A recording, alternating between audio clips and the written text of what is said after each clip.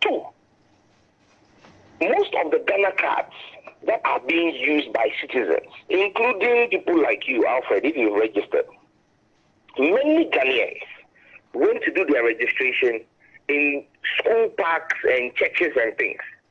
Many of them got to the registration grounds before they were asked about their Ghana Post GPS. Many of them had not generated Ghana Post GPS from their homes or from their places of work.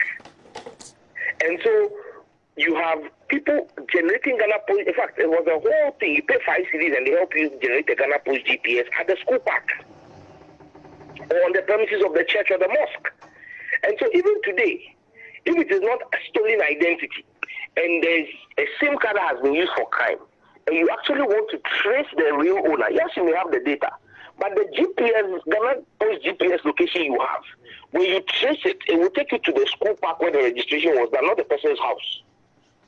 Because the Ghana park system in itself is fundamentally flawed when you wanted to use the GPS system. Because there was no way to verify and authenticate the GPS location. And so you have data and in a database that is useless for crime, crime prevention.